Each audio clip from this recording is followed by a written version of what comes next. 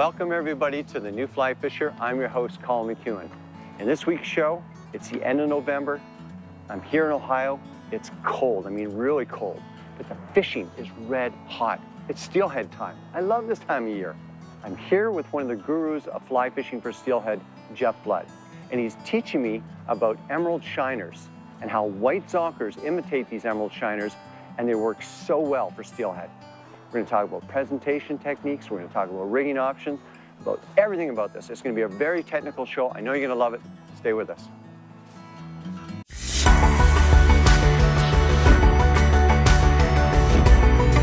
Ooh, that's a nice sized fish. I will catch these all day. That is what you're in for on this episode.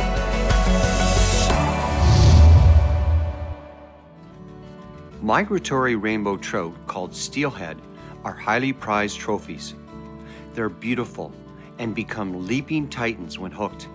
For many anglers, Great Lakes steelhead are the ultimate challenge. The term steelhead describes a rainbow trout that was born in a stream, migrated to the sea, and returned to the stream as an adult to spawn.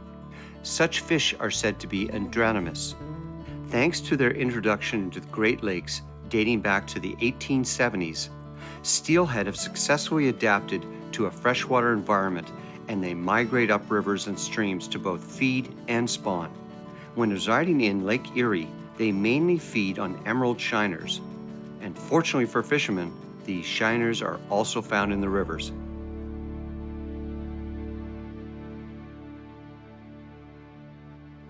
The, the way this pattern works relative to steelhead that's different to Atlantic salmon is steelhead are on the feed the whole time that they're in the system. Um, there is a migration of these emerald shiners that do come up the creeks. Now I fish it in a dead drift uh, and I swing it down. Most of the fish I catch in the dead drift, but as it swings up, I'll also catch a few fish there. So I fish it on the bottom of my rig. The first fly that I have is my egg fly, and then the bottom fly is the white zonker. The silhouette is real important of the fly. The color is real important to the fly. Um, most of the emerald shiners have a very distinct black eye when you look at them. When they die, there's a process called autolysis. And autolysis is nothing more than the body's own enzymes breaking the, the body down. And when that occurs, it forms uh, gas and bloats the fish. That's why many fish, when you see them dead in the water, they turn white. And if they're down in the water column on the bottom of the stream, they simply bloat a little bit and float up off the bottom and drift down with the current. And the fish is waiting there, eagerly devouring whatever comes by them. The cast I'm going to make is uh, an overhand cast, and I'm right now letting the uh, lying down on the water because I have a nice gradual flow to the water and uh, the fly's drifting through naturally. As I go, I may then pull up to the indicator and I'll show that technique here in a minute. And we're gonna hope to hook a fish right about in this water, right where I'm drifting right now is kind of an optimum spot. And I think we got a pretty good fish on here. Now, while I'm doing this, I want to explain how you, how you should fight a fish. If you notice, I keep my rod straight up in the air and let the rod flex down to the fish. That reduces the amount of stress that's on my tippet. And we, uh, a lot of guys will break their fish off because they point the rod down, and when they point the rod down, it puts all the pressure on the tippet. It's physics, and it breaks the fish. And as long as I stay up in the air like this, I'm going to be able to fight the fish and tire them out. I fish off from the reel, the line off from the reel, uh, as often as I can and let my drag do the work on the fish. And this is a nice, looks like a hen. Took the egg pattern,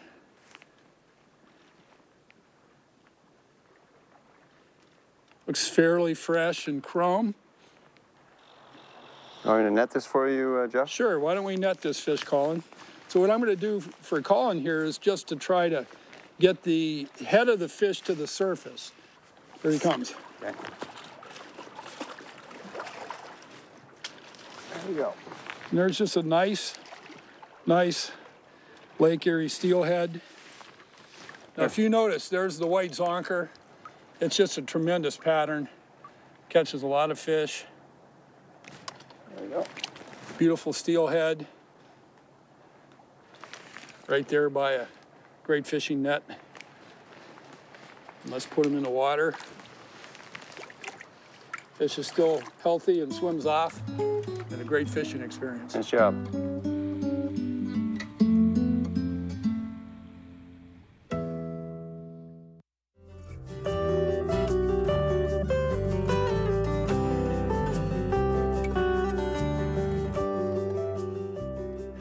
Jeff Blood is guiding me on rivers in the Ohio and Pennsylvania area. These rivers are known for big runs of steelhead coming from Lake Erie. So Colin, you know, I'm on my, my home stream here, so I have home court advantage. And what I'd like to do is show you a couple things that I do here that help us catch fish. The first thing is we're in fairly fast water that's deep. We're adding more split shot. So we added another big shot on it. And what I try to do in this faster water is to high stick. What that means is you're gonna throw your line out fairly close to you and lift your rod tip so the line is straight down into the water and it's just bouncing. Now you don't pull it, you let the current take it, but you feel it bounce. And when it does something that just doesn't seem natural, you need to really pop it. I want to point out that you've put the uh, split shot fairly close to the first fly. That's nine inches right there. Okay, so nine inches. Right. And then approximately two and a half feet away, I have the uh, The last white- fly. The white zonker. And Yeah. these fish that are in this water appear to want the white zonker. They're, they're a little more chrome in this water. Mm-hmm. And let's see what we can catch here. Okay.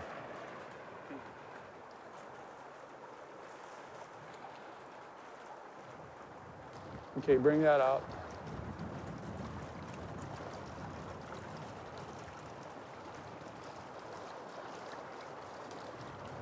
There you go. Ha! See? Yeah, and it See? did exactly what you said. It just paused. Ooh, we'll get that rod up in the air now there, buddy. There you go. Look at him go. Good, good drag on that reel. Right into the sun. He's got another fly in his mouth. My, it's my fly. I lost him a few minutes ago. Oh, did you? Yeah, keep your rod up. Yeah. Nice fish. Nice fish. Keep him coming at me. Yeah. All right. Actually, he's got a he's got a black fly in his mouth. Somebody else broke him off. Yeah, he's been broken off a handful of times. Okay. There's the one fly. Somebody else.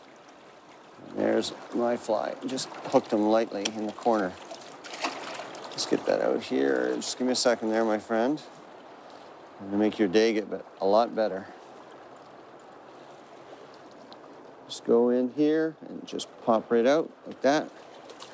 Let it out. Nice chrome fish there. Let him go like from here.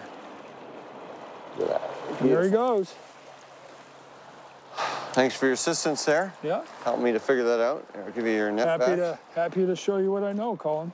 And look at that fly. That's somebody else's fly. See, you can get the clip.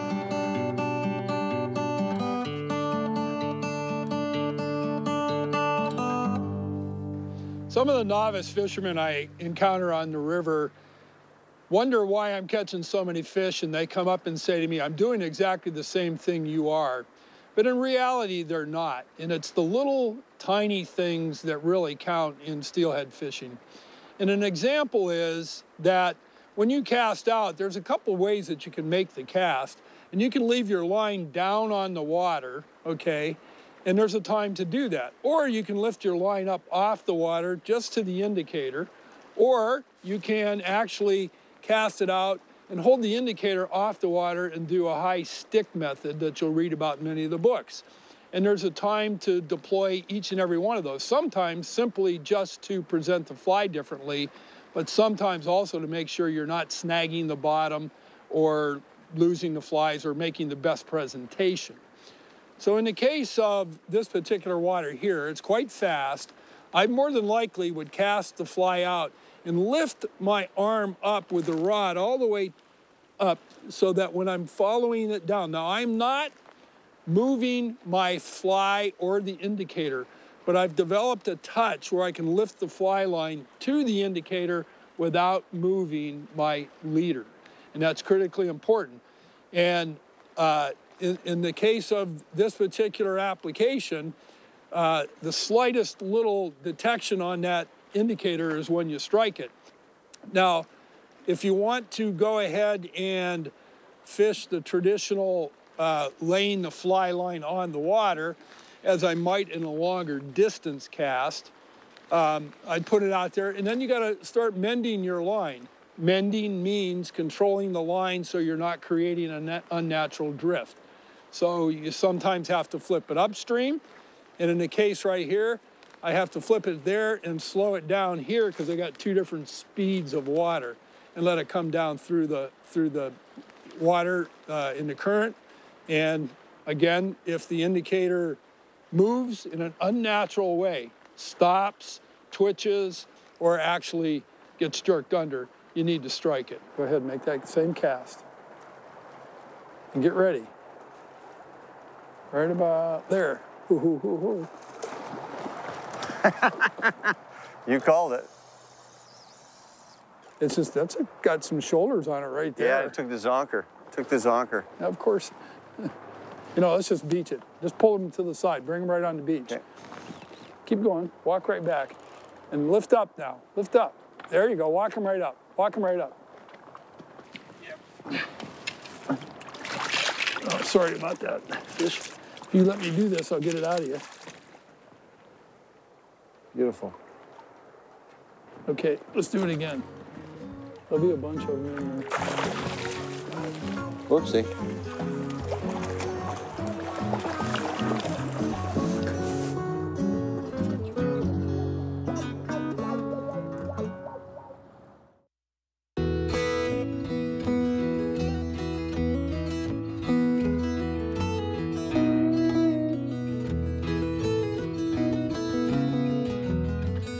I think one of the things, I just missed a fish, and it's the focus.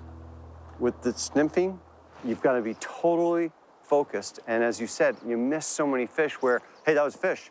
And you're yelling at me, and I, I should be setting, but, I, but you know what it is? It, it's, it's like sometimes you play other sports like that, where you just get that hesitation where you're, was that what I thought it was? Right. But it's already gone, right? It's already so gone. When in doubt, just give it a little Little when, flip. when your chance to put the puck in the net was there, you let it go by. Yeah. You know? It's quick and it's fast. And, and it is It's just as fast as hockey. There you go, right there, good. Now lift, there you go. Hit that.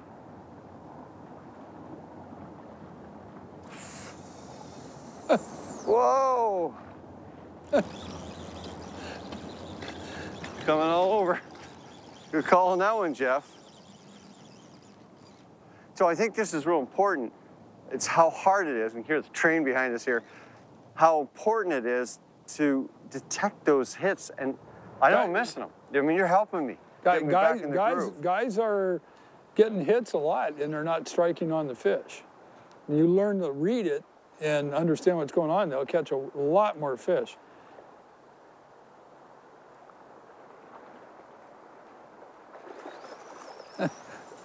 Maybe not. you gotta love it, don't you? you know what, Colin? I remember my first fish, and I've never lost that experience. I mean, every time I catch a fish, I just love it. Took the zonker.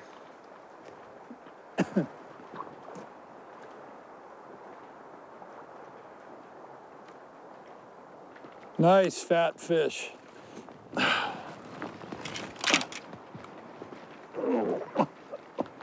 at the belly on her. Okay, I'm showing the camera. Yeah. Look at that. Look at the belly on that fish.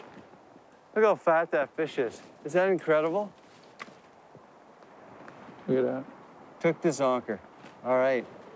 Let's do that again. Let's do that again. wow.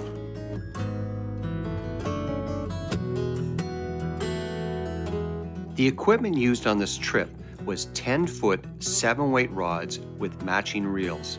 It's especially important to have a good quality, smooth drag system as steelhead are extremely strong and will test your equipment and your tippets to the max. The fly line we used was a weight forward matched to the reel. As we were indicator fishing and the water's not that deep, we had no need for any sinking lines.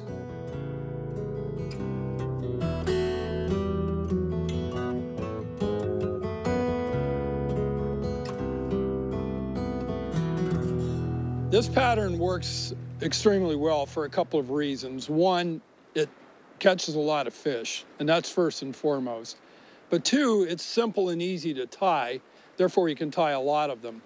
Now there are some particular uh, unique things that need to occur when you tie this pattern. It's not like a traditional zonker that you buy in most fly bins.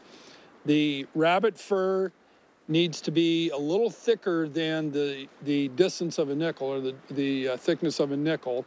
It's tied on size 8 or size 10, uh, 2x long shanked hooks. The uh, rabbit fur, then I like it more sparse than thick, um, and it's about an inch and a half to two inches long max. And if you tie it any bigger, um, you'll catch fish with it, but your rate of, of hookups will go down substantially.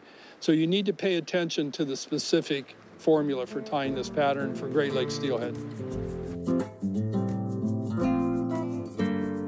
Along with white zonkers, other flies you want to take with you when steelheading are a variety of different colored yarn or egg flies, an assortment of woolly buggers, and stone flies such as the Kaufmann stone have a variety of indicators and a good supply of split shot.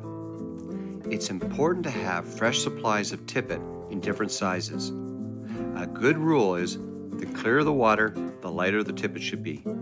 Steelhead are notoriously tippet shy.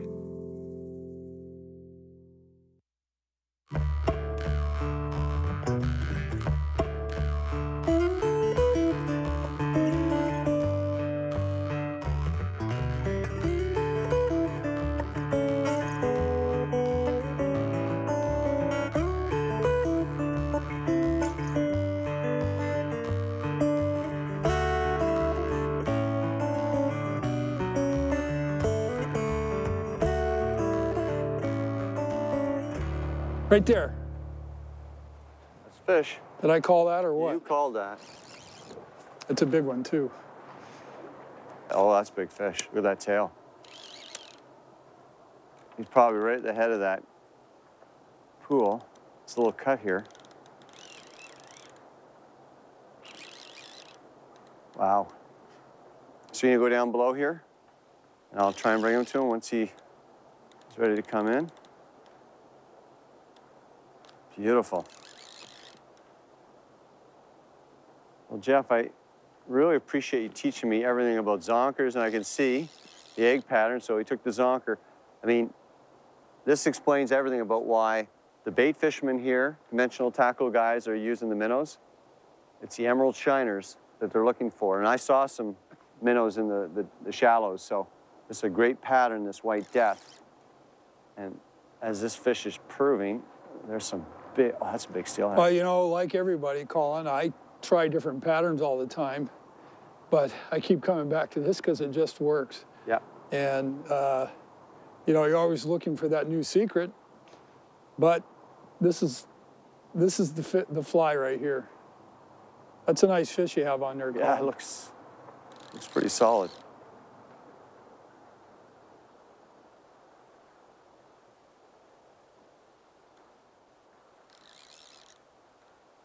Yeah.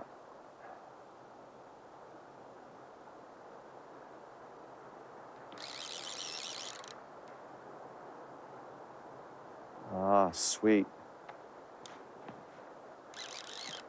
And try and get him to turn his head your way and bring him your way. Looks like a big male.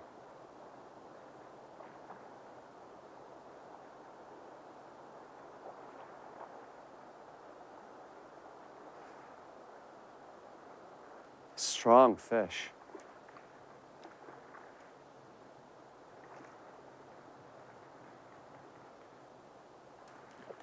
All right. Look at that. Now that, that's a big steelhead. All right. He's filled the net. Outstanding, outstanding fish. Ah, sweet. I don't see his fly. There it is, right there in the mouth. Yep. Right in the corner. Oh, look at that. That's sweet. Look at that big, thick male. And that water's cold. All right, let him go here. All right. Well, Jeff, thank you very much. You know, I hope you learned a lot about uh, fly fishing using white zonkers. I mean, the fishery here in this area is phenomenal. If you've never had a chance, come here. If you want to learn more about this show and others in our series, visit us on the web, www.thenewflyfisher.com. From everybody uh, at The New Fly Fisher, thanks for joining us. We'll see you next week. Hi, I'm Tom Rosenbauer. Do you want to learn more about this crazy and exciting world of fly fishing? Watch the other videos in the series and subscribe to the channel. Fly Fisher has been made possible thanks to the support of Orvis Sporting Traditions, Islander Precision Reels, Scientific Anglers, Rail Riders Outdoor Clothing, the toughest clothes on the planet, Net Staff, the world's first wading staff and net. To learn more about the new Fly Fisher, our locations, contests, news, and much more, come visit and like us on Facebook.